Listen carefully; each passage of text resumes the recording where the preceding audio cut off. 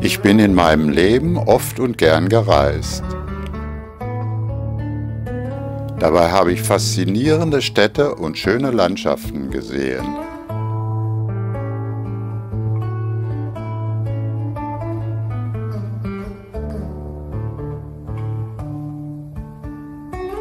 Schon als junger Bursche war ich allein in Italien.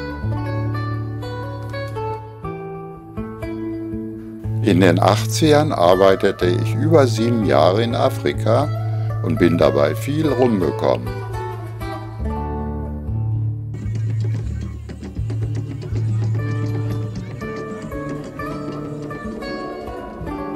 Aber ein Wunsch blieb lange unerfüllt.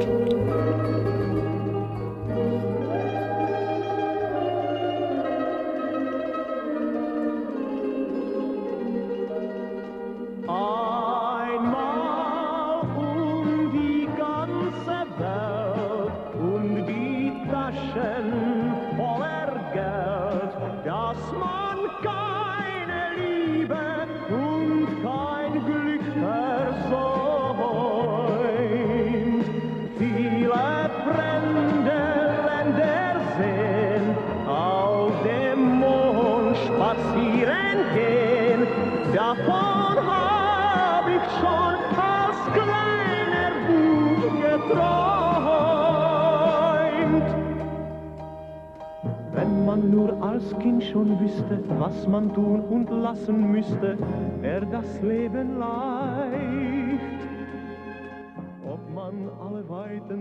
Als angehende Weltreisende müssen wir früh aufstehen, um in Berlin unseren Zubringerbus pünktlich zu erreichen.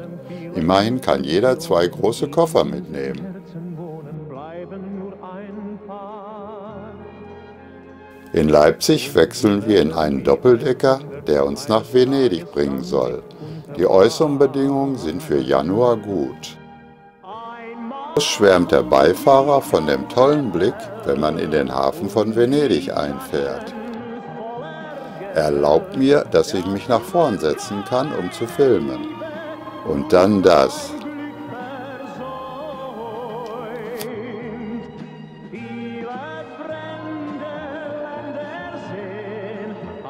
Bei dem Nebel können wir gleich in den Terminal zum Check-in gehen. Wenn man berücksichtigt, dass über 1500 Leute an Bord gehen, dann läuft das recht geordnet ab. Einige kommen noch in Marseille und Barcelona dazu.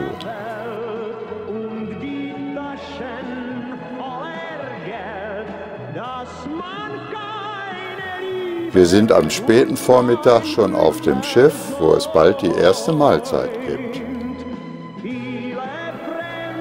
Am nächsten Tag sind wir in Bari. Die Hauptstadt Apuliens ist bekannt für seine malerische Altstadt und die Pasta. Die Nudelfrauen bleiben bei der Kühle im Januar aber lieber drin. Von Civitavecchia aus fahren viele in das ca. 70 Kilometer entfernte Rom. Im Ort selbst ist vor allem das Forte Michelangelo interessant. Ein Höhepunkt unserer Reise ist das Passieren des ca. 80 Kilometer langen Panamakanals. Vom Atlantik aus fahren wir bei der Stadt Colón in den ersten Teil. In der ersten Schleuse müssen wir 26 Meter Höhenunterschied überwinden, um das Niveau des aufgestauten Gattunsees zu erreichen. Mulis, wie die Elektroloks heißen, schleppen uns dabei durch die Schleusenkammern.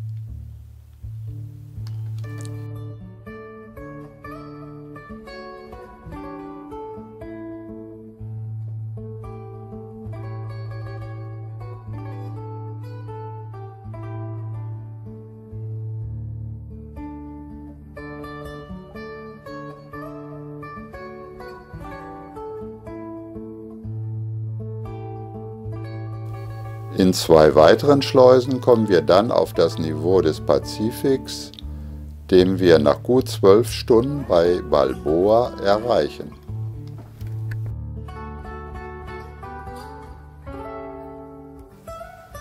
Auf einigen Inseln im Pazifik erleben wir hautnah, dass die Regenzeit im Jahr lang und intensiv ist.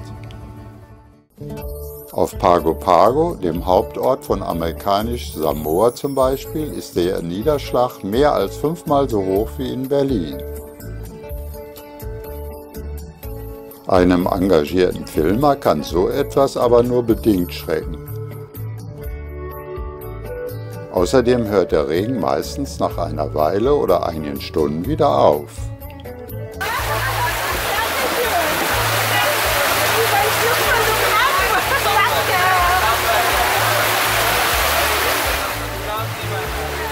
Als unrühmliche Ausnahme zeigt sich Lombok, wo uns das Wasser innerhalb kurzer Zeit bis über die Knöchel reicht. Auch Brisbane macht seinem Beinamen Hauptstadt des Sunshine State Queensland wenig Ehre.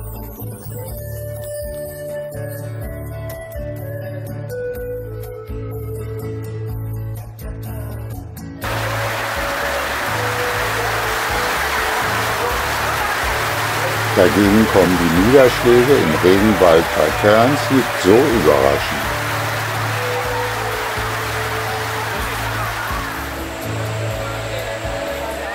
Schade nur, dass unsere Tour mit der Seilbahn dadurch stark beeinträchtigt ist.